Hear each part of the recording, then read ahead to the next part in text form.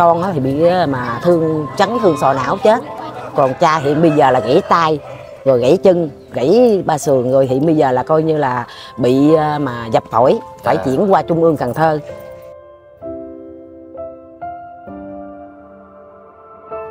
Anh Trung không biết chạy xe không biết chạy xe mà cũng không cà phê không hút thuốc mà cũng không có cái gì hết. Đi làm về là ở nhà với mấy đứa cháu thôi. Trung té xuống thì ờ, với cha Trung á thì cha Trung cũng còn biết thấy con mình dãy trước mặt mình. Rồi à, cha chung có kêu cứu con tôi với cứu con tôi với cứu con tôi đi đưa con tôi đi trước đi đưa con tôi đi, đi nhà thương trước đi. Chú muốn bò lại à, à mà cha chung muốn bò lại là để cứu cái con mình á thì cha chung đau quá bò không nổi. Chỉ nhờ người ta mà kêu cứ nói bằng cái miệng vậy đó cứu con con tôi đi cứu con tôi đi. Dạ bốn xin mến chào quý cô chú anh chị và các bạn. Chúc quý cô chú anh chị và các bạn có một ngày mới vui vẻ và an lành nha. Hiện tại bốn đang có mặt tại thành phố Vĩnh Long cả nhà Đây là đây là khóm ờ, 2 phường 3 thành phố Vĩnh Long đúng không chú? Dạ. Và Tại đây xảy ra một cái sự việc hết sức đau lòng. Đó là một người cha à, chở con đi à, làm thì không may là có hai thanh niên chạy xe chắc là do say xỉn đó cả nhà nên là đã tông. Rất là nên là sau đó là chú thì bị nguy kịch và còn anh thì không qua khỏi nha cả nhà thì cái sự việc như thế nào thì à, vốn sẽ hỏi thăm gia đình để cho à, mình biết được cái rõ ràng câu chuyện ha. Có nghe nói thì à, gia đình cũng rất là khó khăn. Cái nhà này là nhà của bên nội hết cả nhà chứ anh chị cô chú là cũng à, đi thuê trọ chứ không có nhà nữa. Còn cái hàng hương này là của ở bên à, từ thiện họ hỗ trợ cả nhà. Đó. Dạ em chào chị. Dạ chào Ờ, chị cho em hỏi à, chị là như thế nào với lại anh Trung ạ? dạ cô ruột Cô ruột ạ? dạ. Dạ, à, chị tên Loan đúng không? dạ đúng rồi. À dạ. Chị cho em hỏi là cái sự việc nó xảy ra như thế nào mà lại thì à, cha Trung đưa cho Trung đi làm làm công nhân của bà Phú á. Thì đi vô à, mới gặp tai nạn. Lớn lớn chút con. Thì à, Trung cha Trung á, đưa cho Trung đi làm. À, vô tới tới bà Phú thì bị gặp tai nạn giao thông. Dạ. Và thì xe nó đụng đụng hai cha con. Thì thằng con á thì bị mà thương chấn thương sọ não chết. Còn cha hiện bây giờ là gãy tay rồi gãy chân gãy ba sườn rồi hiện bây giờ là coi như là bị mà dập phổi phải À. chuyển qua trung ương cần thơ. Ủa nhưng mà bữa đó là mà là mà chú với em trai đó bị nạn là lúc đó mấy giờ ha chị? 7 giờ 36 phút. Là 7 giờ tối. Dạ đúng. Dạ. Là đi xe gì à chị? nhà đi xe Honda Rồi Ảnh- còn còn những cái người mà gây ra tai nạn đó thì là cũng là bằng đi xe Honda cũng xe mà Honda luôn. nó đi chiếc ẹt còn ảnh thì ảnh chạy ảnh chở con đi giờ làm là tại nó đi làm ca dạ ca từ 8 giờ xa tối cho tới 10 tới 6 giờ sáng là nó Ờ. làm 10 tiếng Dạ. rồi bà đi tới tới đó là nó bị tai nạn rồi ở bên ờ, gây tai nạn có xuống đốt nhang cho cây chưa thấy ai hết không thấy ai hết chưa có thấy ai à? dạ không thấy ai mà lại mà có biết người gây tai nạn không? Biết. Biết mà. Thì bây giờ là giao thông nói là để cho giao thông mà xử lý giải quyết. Bắt dính rồi ha chị? Mà không biết có bắt dính hay không nhưng mà là coi như đội giao thông nói để giao thông giải quyết. Dạ. Dạ. nha Là cho em hỏi là anh Trung này là năm nay bao nhiêu tuổi hả chị? dạ 27 tuổi. 27 26 tuổi. dạ 26 27 tuổi. Có gia đình chưa chị ha? dạ chưa. Chưa có gia đình dạ luôn. tại nó là trụ cột tránh gia đình giờ mẹ nó là mà là mẹ nó cũng à, mẹ nó cũng Cô là mẹ mẹ, Dạ, mẹ của luôn. anh Trung ha? dạ mẹ Cô ruột ngồi đây nói chuyện với cô ờ, con xíu. cô ngồi đập đập đó luôn đi con mẹ ruột của Trung dạ Dạ. Thế cô cho con hỏi là còn ờ, chú bị ờ, cha của anh Trung á dạ. là người chạy xe hay là anh Trung chạy xe? à, chú chạy tại vì Trung không biết chạy anh Trung không biết chạy xe không biết chạy xe mà cũng không cà phê không hút thuốc mà cũng không có cái gì hết. Dạ. đi làm về là ở nhà với mấy đứa cháu thôi. Làm ba đứa cháu ơi. của của của Trung. Là Trung chỉ có nhỏ chuyện thứ hai. Mà có chồng ba có chồng rồi mà đi làm mướn ở trên thành phố á. Rồi để ba đứa Rồi. cháu ở đây mà cho bà ngoại nuôi. Nên Trung đi làm để Trung giúp đỡ với cho mà cha mẹ đặng nuôi Dạ. mấy đứa, ba đứa cháu ngoại. Dạ. Thế còn bây giờ là tình trạng sức khỏe của ba của anh Trung như thế nào rồi? chị? giờ cũng chưa biết bây giờ là hiện giờ tay của ảnh thì băng bột. Giò thì bác sĩ sẽ cho ba thông báo với mình là sẽ mổ. Nhưng mà tại huyết áp của ảnh có quá cao. Dạ. Huyết áp của ba Trung quá cao nên không thể nào mổ được. Nên mà bây giờ là với hoàng chị dập phổi nữa phải chuyển qua trung ương Cần Thơ mới biết được. Nó ủa Dạ. chị cho em hỏi là khi mà em chung qua đời hồi chắc nào hả chị? 9 giờ 30 phút 9 giờ 30 phút nào chị là ba 9 giờ 30 là sáng hôm qua là Dạ. ngày 16 dạ dạ dạ, Dạ. dạ. là có đưa em đi bệnh viện đâu không? Có đưa đi qua bệnh viện xuống bệnh viện Vĩnh Long rồi xong mới chuyển qua trung ương Cần Thơ. Dạ là là Cần Thơ. là được đi nhưng mà em chung qua đời là ở bệnh bệnh viện ờ, bệnh viện Cần Thơ trung ương Cần Thơ. Là em qua đời là ở ở ảnh luôn ha. Dạ. Dạ.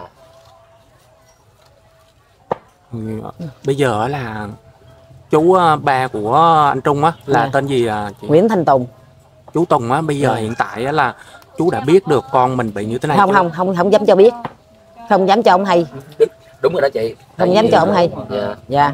Chú ổng năm nay bao nhiêu rồi à, chị? 56 57 gì đó. Năm sáu năm bảy dạ. Chú giọng. Dạ. À, thế còn à, là chú ở nhà á là có bị bệnh gì nữa không con? tai biến bị tai biến tim hả? rồi huyết áp dạ. Tim nữa. Dạ. Nhiều dữ nè. Dạ. Bệnh Trời dạ ông bệnh có bị bệnh nền mà. À dạ dạ. Bây giờ vậy bây giờ ai à, đang chăm chú ở trên đó? Bà chị thứ sáu. Dạ. Dạ. Dạ. Với thằng ghẻ ổng thế hiện tại chú Tùng à, tỉnh lại chưa cô ấy thì có tỉnh nhưng mà anh rất là mệt. Dạ. đúng rồi. Anh cũng vẫn có dạng như nói chuyện được nhưng mà nói chuyện không có được nói lớn nói lớn nhưng mà anh hiện giờ là anh rất là mệt. Nhưng mà ông có biết cái cái cái cái sự việc đấy nó xảy ra như thế nào không? Biết à, là đầu óc vẫn còn đang tỉnh vẫn táo còn ha? bình tĩnh. Anh biết ông nhưng có hỏi thử tình có có. anh. Có xuống là cứ ảnh hỏi con anh không à. Ảnh hỏi con anh gọi dạng như là bây giờ là anh cứ nghi ngờ là con anh chết. Tại vì con anh khi mà té xuống á đập đầu xuống á là nó dãy trước mặt ảnh. ủa nhưng mà chung có đe- có đội cái nón bảo bảo hiểm chưa ha? Có đầy đủ đội nó đầy đủ nhưng mà không biết cái sao mà té mà tại vì thằng cái thằng người gây tai nạn á chạy rất là nhanh. À. Trời. Chạy rất là nhanh nên Xỉn nó rồi nó xỉn hàng đó rất là nó xỉn nên nó chạy rất là nhanh. Dạ. Khi mà nó tông mà hai cha con á thì té xuống á. Chung té xuống thì ờ, với cha chung á. Thì ờ, cha chung cũng còn biết. Thấy con mình dãy trước mặt mình. Dạ. rồi ờ, cha chung có kêu cứu con tôi với cứu con tôi với cứu con tôi đi đưa con tôi đi trước đi. Đưa con tôi đi, đi nhà thương trước đi. Chú muốn bò lại à, mà cha chung muốn bò lại để cứu cái con mình á thì cha chung đau quá bò không nổi. Dạ. Chỉ nhờ người ta mà kêu cứ nói bằng cái miệng vậy đó. Dạ. cứu con con tôi đi cứu con tôi đi. Ủa nhưng mà hồi nãy em có nghe nói hô là chú với em chung là đang đậu xe trong lề đúng không chị không cái dạng như là chạy xuống qua khỏi dốc cầu à, mà lộc hòa À. là tới cái ngã ba Dạ. rồi mới bỏ xi nhan một để qua lộ. À. Thì tới cái cái, cái mà con lương đó đó dạ. là con đường lương để dành cho những người ta đi qua Biết rồi, biết qua lộ rồi. đó. Dạ, dạ. thì chú thấy chạy cái à, anh cha của trung thấy chạy chiếc xe chạy rất là nhanh. À. chú nên ảnh sợ ảnh không có dám qua nữa ảnh mới ngừng ngay chỗ giữa giữa cái ngã ba ngay ngay cái ngã ba đó đó. Dạ. Thì nó coi như là ờ, nó tông trực diện ngay ảnh luôn nó tông như vậy nè. À là nó tông rất là mạnh. À nên tại vì hồi nãy em có xuống dưới á, là ờ, như huyện Long Hồ em lấy xe mà bảo hiểm á À. thì nó đang khám nghiệm chiếc xe. À. thì em mới dòm chiếc xe em thấy là nó tông chiếc xe của anh của em là tông như vậy. Dạ. Nó tông như vậy nè. Tông thẳng vô luôn đó. Dạ nó tông thẳng vô luôn. Rồi hai người đó có bị gì không? Có, có một thằng thì bị gãy chân thôi còn thằng kia là xây xước nhẹ thôi. Ủa chở sao á, thằng chở À. cái người gây tai nạn là bị gãy chân. có bị gì hết cái hai hai thì bên cái tai nạn thì nó gãy có một thằng gãy chân.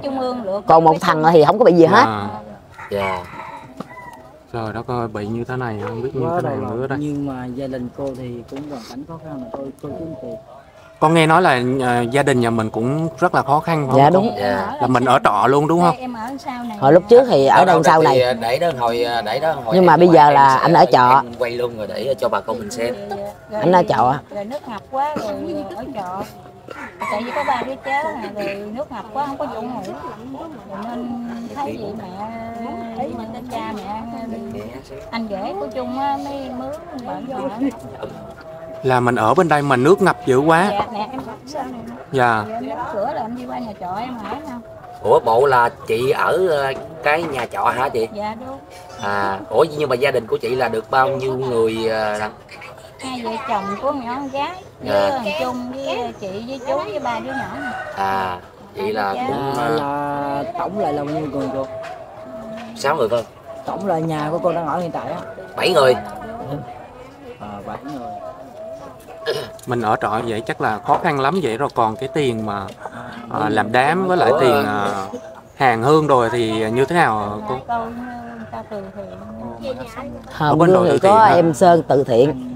Ủa Em- nhưng mà mình đang làm đám cho em chung là cái nhà này là cái nhà của bà nội em chung. Là cái nhà bà nội ha. Nhưng mà cô á là cô ở trọ ở phía sau này. Ở chợ chị ở phía bên phường tư nè. Dạ dạ dạ dạ dạ. Cũng rất là khó khăn luôn các bạn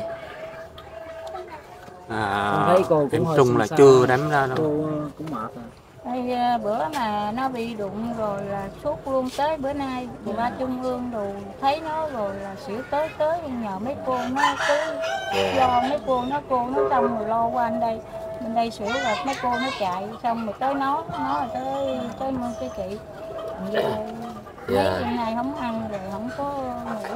Em em thấy cặp mắt của chị sưng luôn rồi trời khóc quá hả, hả chị giờ khóc. sưng mắt luôn à chứ Chồng em mình thì- ờ, nghe nói là chị hàng ngày là chỉ đi làm tỏi rồi lặt tỏi À, rảnh à, củ hành về lột rồi 4 giờ sáng đi mần tới 9 giờ rưỡi thì cũng mần cho cái chủ mình cái chủ mà mình lột củ hành. Là một ngày là cô được ờ, có bao nhiêu? 50 ngàn. Nhiêu cô? 50 ngàn. Trời ơi ủa một sao ngày mà- 50 ngàn. Sao mình dễ ghê vậy? Thì tại vì thấy không có không không có làm gì nên làm được đồng nào thì giữa ở nhà giữ ba đứa cháu ngoại. À. Rồi năm chục Dạ. ngàn đó rồi một ngày rồi sao cô xoay sở nổi? Thì sẽ tới đâu hay tới đó rồi gạo Trời ơi. từ thiện có ra chứ ngày mấy gì cô mà xin thu hoạch giùm. có 50 ngàn sao sống thì với nhờ chung nó đi làm rồi nó Dạ. đâu hay tới hồi đó. nãy à, hồi nãy em có nghe nói là trong gia đình của cô là nó là cái cái em chung là trụ cột trong gia đình Dạ, Đức Đức rồi. đúng không hả chị Dạ, đúng rồi dạ anh Trung là anh làm nghề gì hả chị à, cô công nhân Công nhân. công nhân bầu phú công nhân nhân. ờ, của tỷ sưng à dạ à, vậy là mọi cái nguồn chi phí là cũng là, là dạ, là dựa nhờ vô cái số tiền lương của Dạ, anh đấy đúng không? rồi. thôi. Ủa nhưng là anh mà cũng chưa có vợ luôn. Chưa. Ủa nhưng mà À, cho em hỏi là ở trên công ty bầu phú là có đi xuống à, đây Có. đây chưa hay rồi dạ có có. Dạ dạ. Bây giờ nhà cửa thì không có thậm chí là phải làm đám là cũng phải nhờ vô Ừ. nhà cửa bên nhà bà nội nữa. Ừ. nhà thì nhà ở trọ. Dạ. con mà cô cho con hỏi là là là cô nói là ở mấy à, cô có nuôi là ba đứa cháu ngoại Dạ, ha? ba đứa cháu ngoại nè. Đó đây trước mặt đây. À, dạ, dạ. ba đứa cháu ngoại là ba đứa cháu gái không? Dạ ba đứa cháu gái. Dạ. Ui, cha mẹ um, ba đứa đâu? Ở đây đi, đi làm thành phố hết. Đi làm ở trên thành phố gửi cho bà ngoại. Dạ.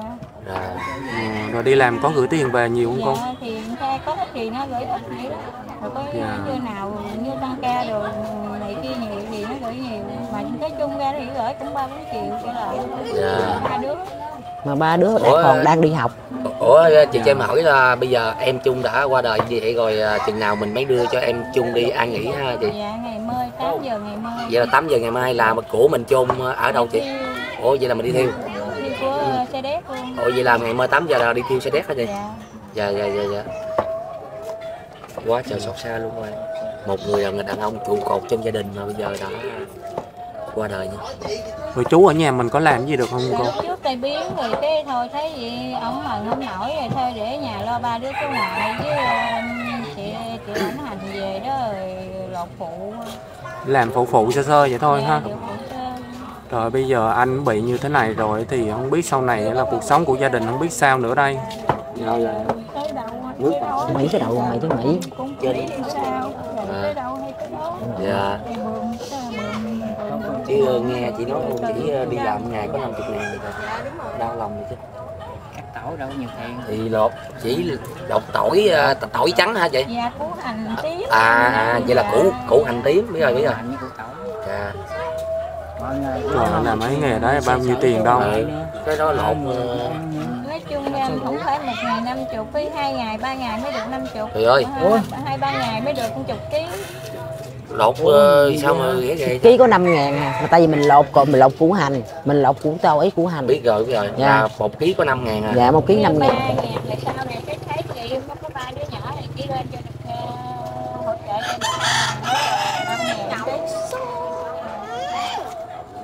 Rồi ơi, à, sao mà mà sống khi đủ. mà khi mà em chung với mà chú nằm viện vậy rồi tiền ở đâu mà chị xoay sở rồi chị? Rồi chị cũng mượn đầu này đầu kia. Ờ, cũng như là mình mượn rồi mình đắp qua đắp lại ha. Dạ rồi là hổm gài là của chị là tốn khoảng bao bao nhiêu tiền này coi như là chị cũng không biết là nhờ cô nó Dạ. chạy như rồi cô nó ấy thì trước mắt là bữa hổm xuống nhà thương với là đóng tiền viện phí là con nhỏ em em vợ cho anh đóng. Dạ. Là ở của bệnh viện Vĩnh Long. À, mà khi qua bên mà trung ương Cần Thơ thì đóng là chụp mình CT cho bé Trung á là 3 triệu 3 triệu. À, là coi như là rồi khi bé Trung mắc á, qua đời á, thì xe mà được đưa về á à, là một triệu sáu. À. rồi chi phí này nọ là ra cũng hai triệu mấy gì rồi đó. rồi bây giờ chú đang nằm ở bên Cần Thơ là tốn tiền nhiều nữa. Bây giờ đâu chuẩn, chuẩn bị chuyển đi hồi, hồi, hồi nãy là Hồi nãy nghe nói là chị bắt đầu chuẩn bị chuyển đi là có em cái dạng em có đứng ra mượn cho chị là trước mắt là 15 triệu. 15 triệu rồi dạ mà đặng để cho chị lo cho dạ, dạ, dạ. Dạ.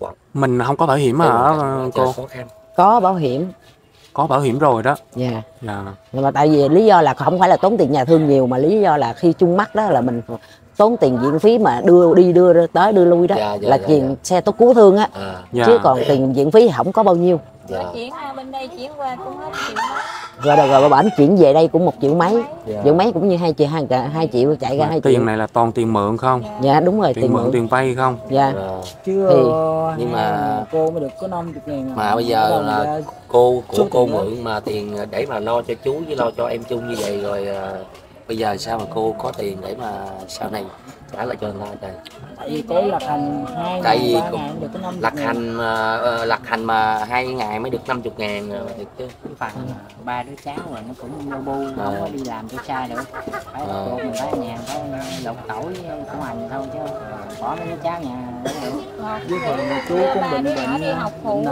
Dạ. như chị thì làm cơm rồi rảnh á thì đi rước không rảnh thì ông xã đưa dạ dạ thế cha mẹ của ba đứa nhỏ có về à, được chưa chị về rồi hết đầy đủ mà cha thì đưa ông xã chung với mấy anh á mấy em nó đi ờ, đưa cha nó qua bển rồi à, còn mẹ Dạ. thì mới đây nè cũng xỉu lên xỉu xuống nữa Trời đất ơi. đó. thì bây giờ hai cặp mấy cô với Dạ. mấy, à, em nó tại vì khi là cái đứa con gái của cô ở trên Sài Gòn mà khi nghe các cái thông tin là đi về hồi nào ha trong đêm đó luôn. Ông chủ làm đó rồi ông bao xe về tóc hành rồi ông trả tiền luôn. À. Dạ. Rồi sáng Tại ngày vì sau là thằng rể ờ, đang làm mà nghe một cái thông tin thằng ờ, rể ờ, quá trời ờ, chấn động ờ, ông chủ cũng trời. bao xe cho thằng rể về sau. Đất. ông sợ đi xe ngoài nó lâu rồi ông bao xe về cho nó về luôn ông trả Dạ. tiền luôn. Anh chị đó làm trên thành phố Sài Gòn á hả? Dạ. cô. Dạ làm trên đó phải ờ, gửi ba đứa con ở đây. Dạ, ông dạ, bà ngoại nuôi. Dạ, ở nhà trọ nó. Ở nhà trọ trên đấy đi làm chắc đi làm công nhân á cô. Làm co- tư mình ở ngoài làm coi như là làm bên với tiền dần dạ. Phải gửi con ở đây chứ ở trên đó thì chi phí ờ, nuôi ba đứa nhỏ cũng chịu không nổi. Đuổi rồi. Nhờ ông bà ngoại. Thì phải ờ, thành ra hai chồng vừa ăn rồi về nhà trọ rồi ba đứa không có đủ. Cậu ba nó ờ, đi làm đổ vô cho ba đứa. À, rồi Dạ. thì làm hạnh như hai bữa tùy theo bữa nào nhiều thì ờ, mỗi ngày còn nếu Dạ. không có thì ba ngày hai ngày mới được chục ký dạ. Ừ, con nghe nói anh anh Trung là hiền lắm luôn hả cô Ồ, hiện như cục đất luôn trời không có coi như ở sớm này không biết nó luôn. Mới biết chừng hai năm nay ba năm nay. Chắc cô nó cũng không biết nó tên nó luôn. Không có ai biết bác sĩ kêu tới nhà tới nhà là kêu ở ngoài về tên nó ngoài thôi. Dạ ảnh tên Nga hả? Dạ, còn chân tên giấy tờ là Hồng Trung. Là là là, là. Ờ, bây giờ mỗi lần mà ảnh à, ở nhà cô là ảnh làm gì ban ngày mà ảnh đi làm ban đêm đúng không? Đúng rồi ca còn ban ngày ảnh ở nhà ảnh làm thì gì ở nhà ngủ như làm đêm thì ở nhà ngủ. À, Ờ, ngủ rồi cái tới tầm 3 giờ thức cái là bắt đầu ăn tới ăn cơm chiều là ăn cơm chiều là thành ăn cơm trưa đó. Dạ. À, là bắt đầu tối đi tiếp đi cứ đúng. đi làm rồi về nhà cứ ở trong nhà vậy Ở rồi trong là nhà không có luôn. vợ luôn đó. Không luôn không có bạn gái mà không có bạn trai luôn. Rồi. Chỉ là có một thằng ngoài người Bắc mà ở đây sống ở đây với ông nội bà nội là nó chơi chỉ có một thằng đó thôi. Dạ nói chung là cũng gần như không có bạn bè chỉ không có một bạn người bạn luôn. thôi. dạ. Đi về rồi như làm ngày á, thì chiều về hữu hỉ với ba đứa cháu. Còn làm đêm thì ban ngày ngủ. Và 3 giờ vậy là ăn cơm trưa rồi đó là chiều đi làm tiếp vậy đó. trời đất ơi mà không biết lái xe không luôn. Là chú là phải bình thường là chở đi làm rồi trở về? Dạ đúng. Ồ, thanh Vâng. thanh niên mà hiền dữ vậy? xe. ảnh có có nhậu không cô? Dạ không luôn. Thuốc Ờ. hút không luôn. À mà mà chú chạy mà đâu phải ảnh chạy đâu. Dạ mà nói chung ra thuốc hút này kia cũng không biết gọi là Dạ. cái gì luôn quá trời hiền. Ờ, cái cái um, tông mà trực diện như vậy rồi xe của mình có như thế nào? Có, giờ giao thông dữ chị cũng không biết. Dạ. cũng như nếu mà mình cô- nhìn vô cái cái cái, ờ, cái hư hại của xe thì mình biết cái tình huống như Ừ, thế nghe nào. nghe nói là cái đầu cũng phanh tiêu hết trơn hay sao Trời không biết. Ủa nhưng mà chú ờ, Chạy chạy nhanh lắm bằng, á. bằng cái cái chiếc cái chiếc xe gì hả? Ô 4 hả? Ô 4 Nogo 4 à? dạ. À mà ông chạy chậm dữ lắm. Ông chạy không nói đỡ hơn chiếc xe đạp một chút xíu. Vậy. à, Ôi trời. Tại vì nãy em cũng có nghe là cái cái nó cái anh kia ảnh nói là là ảnh chạy xe chậm gì ờ à, đó dạ đó. bay lên vào phú mà anh chạy tới một một tiếng mấy đó. Dạ đúng. Trước Nghe- khi nghe đi à, với thằng con làm là ca 7 giờ là tầm 5 giờ là 5 giờ mấy đi rồi. Vậy đó. Còn như chiều năm chiều 6 giờ rước là tầm 4 giờ mấy rước mấy đứa này xong là đi đi vô chổng luôn á. Dạ. Đi kịp giờ để rước con bé rước nó chứ để ờ, đi trễ chạy chậm chạy nhanh quá rủi có nguy hiểm thì cũng ấy À, Thì, dạ. chạy chậm ý là chạy rất là chậm luôn á Trời mà bị với phần chú cũng bệnh ờ, bệnh bệnh mình à, nó Dạ, yếu, đúng. lớn tuổi dạ đúng. Mà thường người lớn họ chạy đàng hoàng lắm. Dạ. Mà chắc mấy người kia cho hai người kia chạy chắc nhanh lắm á. Tại nhanh dữ lắm. Say rượu nữa. Dạ bởi công Xe giao rượu. thông á, là cũng biết ờ, đi quan sát hết trơn rồi là giao thông cứ điện tới tấp thằng này không cứ hỏi thăm thằng này không thấy vậy đó rồi giao thông điện tới tới tới luôn. dạ Đây là 6 giờ sáng này nhà máy nó hết pin thành ra không có điện điện qua cho cô nó. dạ Cái- mà người nhà của bên kia chưa tới Dạ thăm gia chưa đình mình luôn ha chưa gì hết trơn. cái gì ta mình có biết là hai hai người à, đó là người ở đâu không cô Dạ chị cũng không biết. chưa biết thông tin Dạ gì luôn ha chưa. Dạ.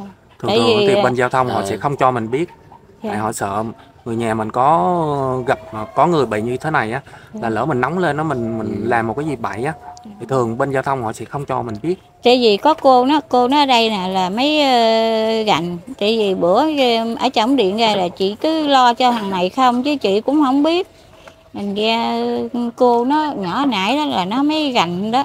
Nó Dạ. mới dạ Rồi Dù điện sao là- chị ờ, cô bên này thì ờ, cũng ờ, tỉnh táo hơn dạ dạ mình ờ, là trực tiếp là mẹ là Dạ. là vợ thì mình không có thể tỉnh táo được Dạ. thì cứ thấy nó đưa vô bệnh viện lớn rồi là cứ thấy nó rồi là bắt đầu tới tấp rồi bắt đầu cứ lợi nó xong rồi là hô chuyển viện là rồi là bắt đầu không biết còn trời trăng mây nước gì hết Rồi, rồi. À, rồi cái qua tới bển rồi bắt đầu là nhỏ con gái nó điện cái nữa nó ba, bao xe nó ông chủ bao xe ra về là nó phụ luôn á rồi cái cô cô nó nhỏ này nhỏ thứ bảy nè nó mới tới sáng tới 6 giờ cô nó về về là bắt đầu tới 8 tầm 8 mấy con nhỏ con gái điện cô nó qua là bển 9 giờ mấy là mất á. Rồi đó. là qua một đêm. Dạ. Dạ. vậy là cô cô biết thông tin là chú với lại anh bị tai nạn là khi nào? Thì tầm cha nó đưa vô là chổng là 7 giờ 36 phút là bị. Ủa nhưng mà rồi người rồi người nào cho chị hay đi? Gia dân. Cái người dân ở chổng á. À. Người dân gọi điện cho mình dạ biết. dạ tại vì ông xã ông cũng còn biết À, ông đọc dạ. số cho dân dân À, điện dạ, về dạ. tại đi, đi hai cha con không người nào đem máy theo hết trơn trời á à, rồi bắt đầu cái bà dân cái cái bà đó cũng hơi sùng sờm mới điện rồi Dạ. cái chị, ê, chị chị mới đi ờ, kêu cái mấy bắt đầu vung quá rồi không biết cái mới điện cho nghĩa em út nè xách xe qua chở chở đi thì chợ trang đang trên đường đi thì cô có cô điện lại là cô nói đưa xuống bệnh viện lớn ra ừ, chị mới đi xuống bệnh viện lớn thì thấy vừa tới là thì thấy nó đưa vô cấp cứu. Là thôi máu me gì không thấy luôn không thấy mặt nó cứ thấy máu không. À, trời đó đổ tay ra máu quá rồi mặt mày máu không luôn. Rồi bác sĩ nói là ảnh là như thế nào mà mất đi à?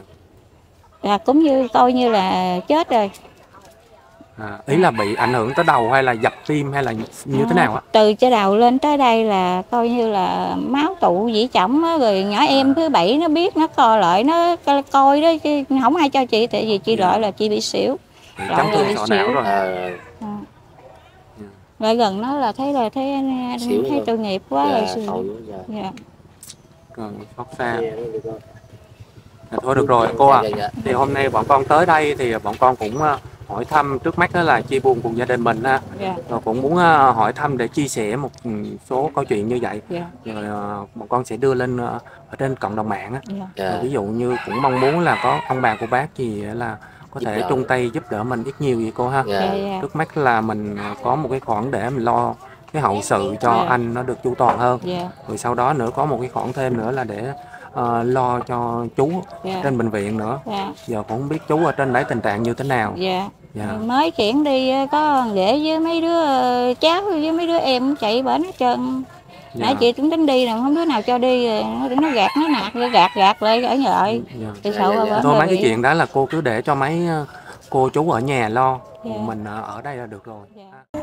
Dạ cô thì hôm nay á, con ờ, biết được cái hoàn cảnh của gia đình mình ha. Dạ. Thì ờ, con tới đây con thay mặt cho anh Trung ở Vũng Tàu dạ. ờ, trích ra 500 ngàn gửi cho gia đình mình ha. Dạ Dạ, dạ. con- cho, cho cho chị gửi chứ anh, Trung ở Vũng Tàu. Cảm ơn anh Trung nhiều giúp đỡ cho, cho con của chị chị rất mang ơn. Dạ, con cũng mong là cô và gia đình cũng ờ, Dạ. sớm vượt qua cái nỗi đau này ha. dạ dạ Dạ, mình vẫn tin để có thể làm lo cái hậu sự cho anh Trung. dạ Thứ hai nữa là cũng lo cho chú dạ đang Em- nằm bệnh viện ở trên kia nữa. dạ bên Hiện tại thì giờ ở trong nhà cô thì có mình cô là người lớn nữa thôi. dạ Đó, rồi còn phải lo thêm cho mấy đứa nhỏ nữa, dạ mấy đứa cháu ngoại nữa. dạ Nha cô. dạ Cố gắng giữ gìn dạ, sức khỏe, dạ, lo cho cho cho ờ, anh được chu toàn nha. dạ rồi chị chị cảm ơn cũng nhờ mấy mấy mấy em giúp đỡ giùm cho cháu nó ừ, cho nó ăn nghỉ rồi cũng- Dạ. dạ thì đó cả nhà Dạ, dạ. thì cũng mong cả Dạ, nhà nếu dạ. mà hữu duyên xem được những cái thước phim như thế này thì